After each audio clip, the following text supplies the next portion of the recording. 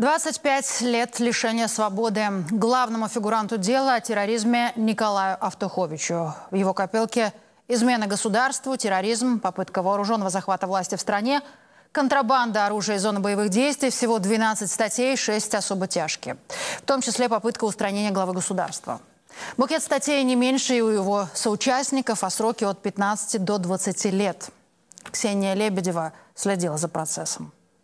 С 18 мая текущего года в этом помещении тюрьмы номер один города Гродно шел процесс по делу о терроризме, фигурантами которого стали участники банды Автуховича. 12 человек. Сегодня всем им озвучили приговор. Главарю банды 25 лет, его троим соучастникам 20 лет, остальным 19, 18, 17 и 6 лет заключения. Приговор суда не вступил в законную силу, может быть обжалован и опротестован в установленном законом порядке. Кстати, как объяснил обвинитель, было установлено, что двое из 12 обвиняемых по делу в состав организованной преступной группы не входили. Ирина Горячкина и Антон Мельхер. Последнего освободили в зале суда. Зачтен срок содержания под стражей. Нужно отметить, что всем подсудимым назначили крупные штрафы. На имущество Автуховича в Волковыске наложен арест. Пособнику Автуховича Павлу Сави присудили срок в 20 лет заключения. Совсем недавно мне удалось записать с ним интервью. Он мне говорит, нужна твоя помощь. Я говорю, конкретно в чем моя помощь нужна? Он говорит, ну, надо наказать пару человек. Поможешь мне? Говорит, ну, особо ничего делать не надо, говорит, просто подстрахуешь. Я сделаю все сам. Ну, все, вот, в принципе, наш разговор состоялся в конце где-то сентября. Он снова уже приехал. Говорит, надо, ну, помочь наказать одного сотрудника. Я бы Я хотела говорю, уточнить, да. вот а формулировка была именно такая, а, помоги мне наказать? Наказать, именно наказать. Угу. Наказать не отомстить, не, вот, не вот именно наказать. Такой вот план был. Я говорю, хорошо.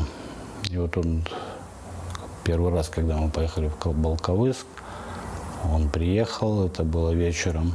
Он у нас побыл дома, мы поужинали. И вот во время того, как мы ехали уже в Ратомку, по-моему, там ну, знакомый к его, вот, я у него начал спрашивать, в чем состоит наша как бы задача. Он сказал, ну, спалим машину. Не только жгли, но и взрывали имущество правоохранителей при помощи тротила, привезенного из зоны боевых действий. Привезли и огнестрельное оружие разных модификаций и калибров. Деструктивная оппозиция под руководством Автуховича и иностранных спецслужб планировала применять оружие и взрывчатку, чтобы запугать белорусов и насильственными способами поменять власть в стране. Если бы я знал объем будущем, который я узнаю о всей вообще деятельности, то я бы отказался. Конечно, бы отказался. И как даже вот сейчас из материалов уголовного дела, что везде упоминается, что он э, оружие возил с собой в машине, постоянно все у него было при себе, но я бы тоже вряд ли поехал с ним. На тот момент я пообещал. Я привык как бы держать свое слово. И ну, преступление и преступление. Так подумал. Как бы, ну, сильно не вдавался, не углублялся в подробности. То есть масштабов дальнейших я для себя никаких не видел.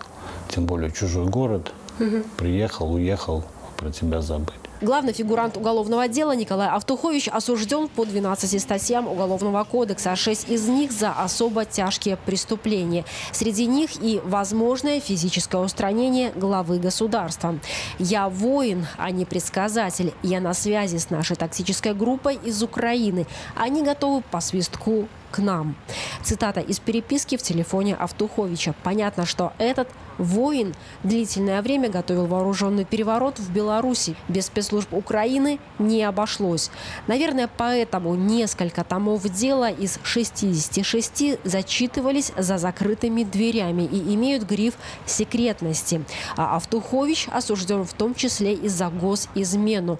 Но единственный ли это случай в его жизни? Предположительно, есть еще как минимум один, о котором расскажу уже завтра в своей авторской программе. Это другое. Из Гродно Ксения Лебедева, Дмитрий Гаркуша и Александр Могучий. Агентство теленовостей.